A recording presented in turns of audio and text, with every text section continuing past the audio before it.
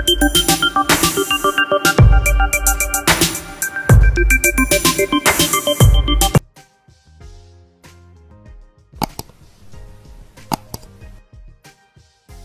everyone, how are you? Mulimutia, mulimutia. I hope you're keeping safe. Hey, bana, corona is real. Uh, if you can, if you don't want to keep safe, at least do it for your family, for your friends. Keep safe. Wear that mask, uh, sanitize, and social distance.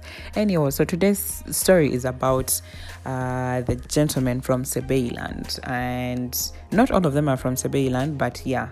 Um, the people that we have that run the marathons yeah so um to, again it's um a moment of what of celebration uganda is celebrating again uh, a gold medal that was won in Poland uh, by one jacob kiplimo who is 19 years old uh, jacob won the world half marathon uh, cheptegei was also in that um, marathon, but he came in fourth.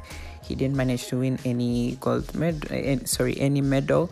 And then we also had Kiplangat in there who also ran, but I don't know what uh, number he came in. But yes, even if they didn't win a medal, they just made us proud because we had four Ugandans there running that marathon. My God, Uganda. Um, they're just making us, yeah, I'm now a proud Ugandan.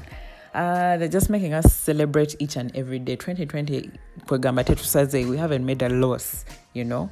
We're winning left, right, and center. Thank you so much, uh, gentlemen. Thank you so much, Jacob, for winning us another medal.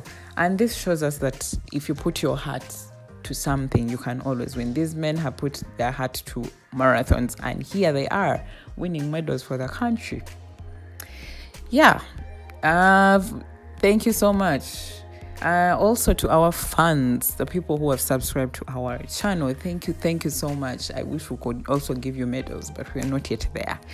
Maybe in future. yes, thank you so much for subscribing to our channel. Thank you so much for helping our subscribe subscriber number um, grow.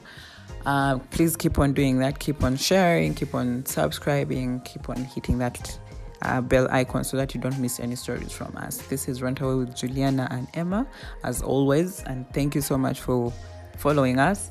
Uh, if you want to uh, us to do any adverts for you, please hit our DMs and we'll get back to you. Bye bye.